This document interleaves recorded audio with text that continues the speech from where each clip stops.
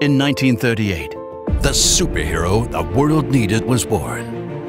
Its two brilliant creators set revolutionary standards in gas measurement when they invented it. They called it URAS. Its infrared vision performed miracles. In an instant, URAS could analyze the composition of gases at industrial plants, the first gas analyzer to do this. Slowly but surely, it became a benchmark for uncompromising environmental compliance.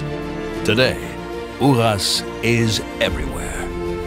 It monitors gases that comes out of chimneys. It measures gas components to secure optimal and safe process conditions and to prevent industrial gas explosions. It saves lives in hospitals by measuring the CO2 levels in diagnostic breath tests it even controls the ripening of bananas during shipment. URAS is a continuous gas analyzer that is in demand whenever real-time, ultra-precise measurement of important process parameters is required. ABB's URAS is more than ever the hero the world needs. And it will continue to write the future